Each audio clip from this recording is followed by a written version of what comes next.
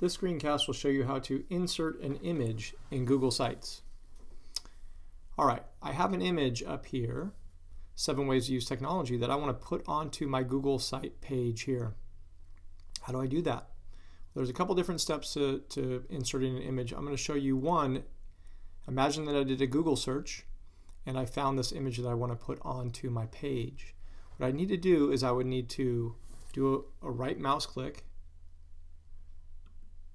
and save the image. And I can put it in anywhere I want it on my computer, but I'm just going to put it in my downloads. And now I've downloaded that image. One different thing about Google Sites versus a Google Doc or present or, or Google Slides um, presentation is I can't just drag this into my my uh, page here.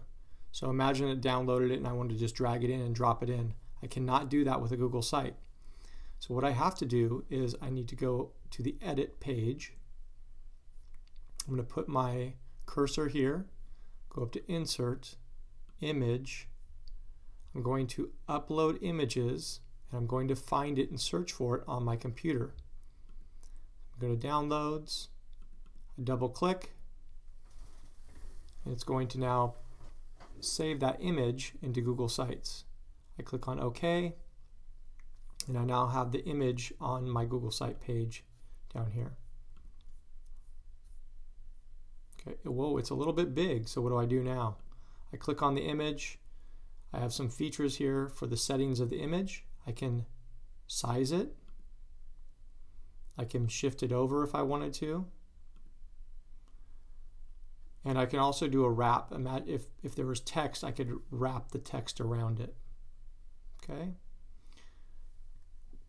So I'm going to, right now, remove this because I'm going to show you another way of doing it. But that's one way of doing inserting an image. Another way I could insert an image would be go to, would be is if it was in my Google Drive already.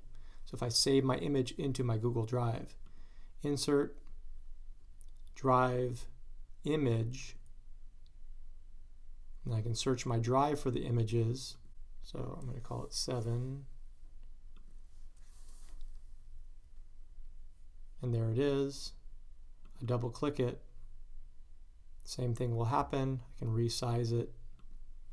And there's my image on my Google Sites page. Last thing I need to do is save. And now the image is on my Google Sites page. This has been how to insert an image in Google Sites.